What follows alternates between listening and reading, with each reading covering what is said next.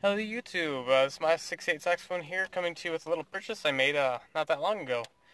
Uh, it's called a Dirt Devil car vac, basically a hand vac with the uh, adapter of a car plug. So it's a 12 volt system. The motor itself is a 9.5 amp motor.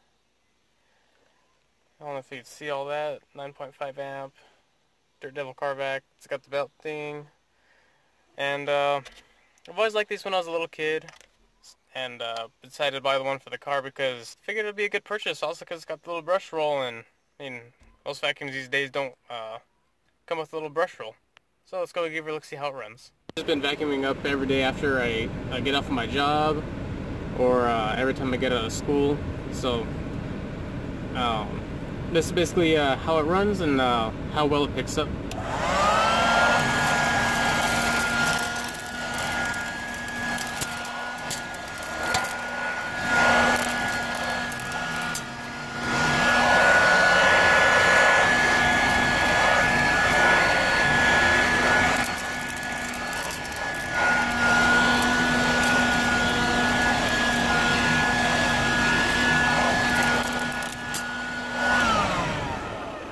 See, it picks up pretty quick uh, having that big brush roll.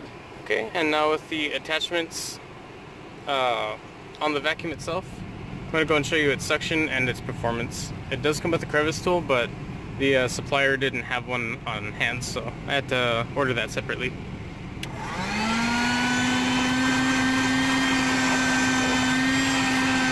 You see, it's got pretty good suction.